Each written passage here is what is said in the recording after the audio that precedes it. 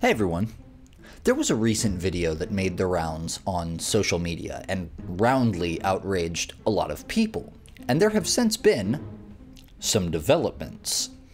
I'm going to take you first to the sunny afternoon of June 20th, where a DoorDash driver in Jasper, Alabama had just pulled into a parking spot at a local McDonald's to run inside and pick up his client's order.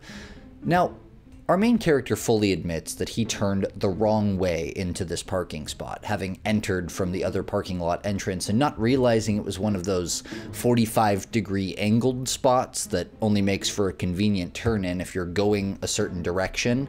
So he was in the opposite lane here, realized what this parking spot was, swung wide to make it into the space, right? Not really a big deal, wasn't a crowded parking lot by any means, didn't hit anyone or almost hit anyone. There was no indication, is what I'm getting at, as he turned his car off, that there would be any kind of issues with anyone. Only Moments later, what appears to be a raging lunatic starts screaming obscenities and slurs out of his truck window, at which point he pulls his phone out and records the following video. Make a fool of yourself. Come on, I don't care what I did. Do not I threaten. don't care either. I will Go give this to the somebody, goddamn ass, you cops. dumb duck. I will give this to the cops. Go ahead, dumb shit. me. Go ahead, you goddamn. Yo. And now, you know what? Yeah, you just assaulted me.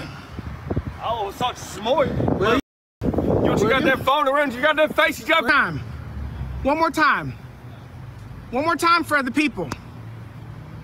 No? Oh, that's your goddamn dumbass.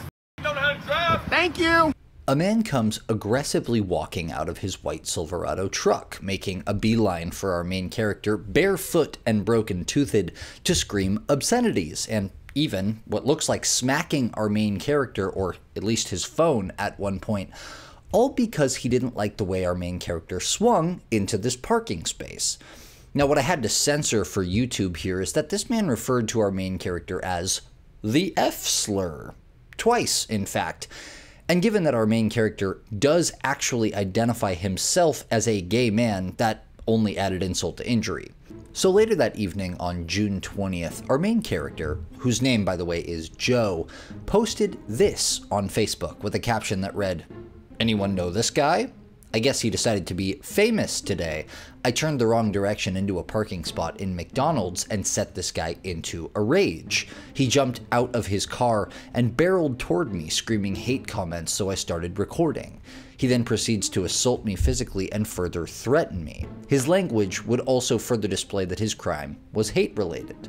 Cops are on the way.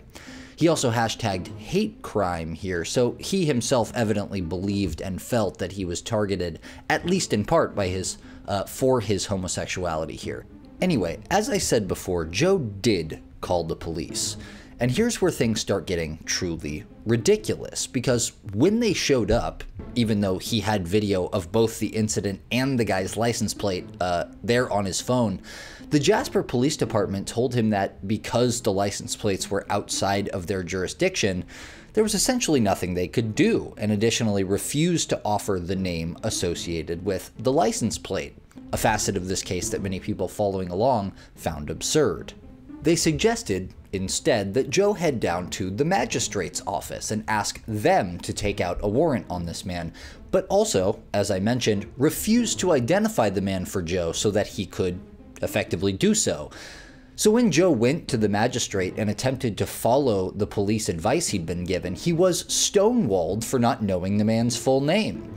He returned home and posted this video to Facebook to see if the Jasper, Alabama community might be able to help him figure out who this guy was. And boy, did they ever. A flood of shares, messages, and replies quickly identified the man in question as, I kid you not, Michael Myers. That's his actual, real name. And aside from his extremely cringy edgelord posts about how he does what he wants because he can fight and all other manner of stuff that you'd frankly expect from a guy like this, we also saw several comments made by people who claim to know him. For one thing, this comment that claims he has some serious drug problems, which were kind of visible from the state of his teeth, right? But also that he doesn't own a car, insinuating that this may have actually been a stolen truck he was driving around. And Joe left an interesting comment here that seems to substantiate that idea, saying that despite police not telling him the name the license plate was attached to, it came up as an elderly man with a handicap placard that most certainly did not fit Michael's physical profile. So maybe this was why the Jasper police didn't give him the name. They knew it was the wrong one, right? And they didn't want to set him down this crusade against the wrong uh, handicapped old guy. But she also claims that this guy is, in fact, a Jasper resident, and he went to Jasper High and lists it as his location on his Facebook profile, so that turned out to be true as well. I'm saying this because her comment was before he was found and all these pages were exposed, right? And she also claims that Jasper PD, this is fascinating, know exactly who this guy is and where he lives because he's been arrested so many times. So were they protecting this guy for some reason. He doesn't seem like the kind of guy who has like friends in high places. Maybe the specific officers who responded on this call were new and didn't know who this guy was yet. Okay, so fast forward to June 27th. Tizzy Ent, who is one of TikTok's uh, so-called Karen hunters, right? I brought him up a couple times on this channel before with uh, Dinesh or Donish. He made a video about this guy as well, a follow up to a previous video where he'd asked the people of Jasper to identify this man, and in this one, he exposed a strange message he'd been sent by an account calling itself Big Boy 84. Because, of course, this guy's nickname for himself on the internet is Big Boy. The message was riddled with profanity and more F slurs and criminally unpunctuated. It said something like, now I'm going to do my best here. How about before you start talking shit about everybody that you don't know the damn thing that you wasn't even effing there, you dumbass? How about you effing start learning the actual facts before you come on Facebook posting this goddamn shit. Don't worry, it'll be taking down for that little f ass mother f to you, little f. Huh. So Tizzy apparently showed this to the police as soon as he got it, and finally, seven days after the incident had happened, they seem to have decided this serial offender was worth pursuing, because later that evening, again, this is June 27th now, the Jasper Police Department, in what appeared to be a wholly unwarranted, uh, self congratulatory tone, posted this update to Facebook. It read, on Thursday, Jasper police arrested Michael Myers related to an incident that occurred recently in the city. After tips from the public identified Myers, the victim obtained a warrant for harassment from the city magistrate, and Jasper police arrested him on those charges and two outstanding warrants for failure to appear. He is currently in the Jasper City Jail. We are grateful to the public for their assistance in identifying Myers quickly. Additional charges are expected to be filed. So, Michael Myers, serial nuisance, local menace, perpetrator of assault, known bigot, and possible car thief, has been arrested and charged. And not just for the harassment warrant on Joe's behalf, mind you, but apparently he had two other outstanding warrants as well for other crimes. Begs the question why they didn't go find this guy when they saw the video in the first place. I also found record that he was booked into Walker County Jail on July 1st for something called UPOM second, which stands for uh, second degree possession of marijuana. Now, I'm a 29 year old YouTuber from California, mind you, so don't think that I think that anyone should be getting in trouble over smoking marijuana, but it is just another charge on his rap sheet, and if anyone is going to be arrested for marijuana, at least it's him, I guess like the guy needs some jail time is what i'm saying. I think we can all agree on that. But hopefully this means michael's reign of terror is over in jasper alabama at least for now. We hope whomever's car he possibly stole apparently a disabled old man gets his property back. And we wish michael myers a very annoying and uncomfortable experience in jail.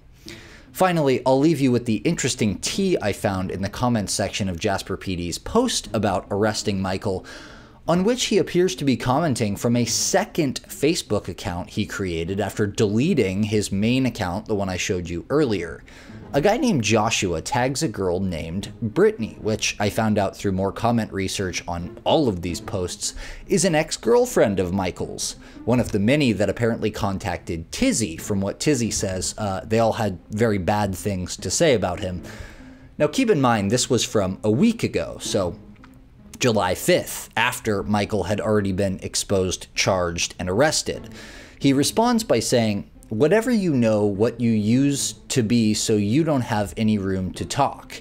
And here's where you can really tell it's him, right? Because you'll notice he doesn't use any sort of punctuation of any kind. It's just a single run on sentence that's barely literate, like his message to Tizzy.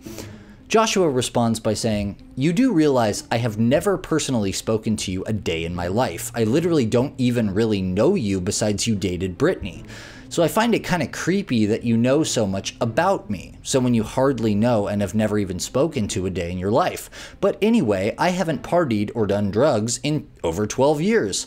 I actually grew up and got married, had a family, and got my life together. There comes a time when you, what's the word, grow up and leave the drugs and partying behind.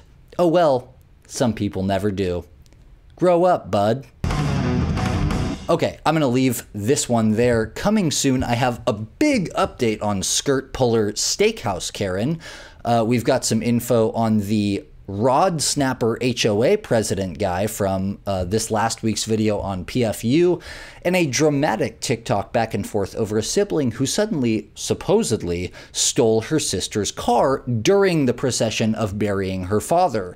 Please leave me a like and subscribe if you enjoyed the show, and I'll see you soon. Deuces.